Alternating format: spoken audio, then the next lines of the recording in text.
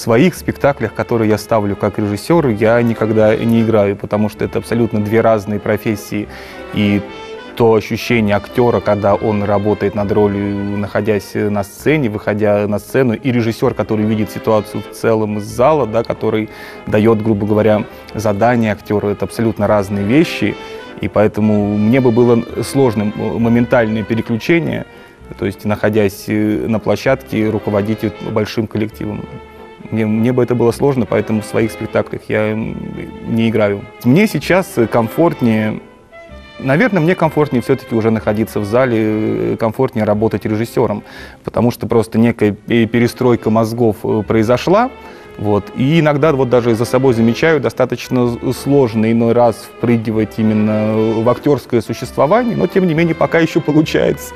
Когда пойму, что это стало получаться неубедительно, сосредоточусь на чем-то одном.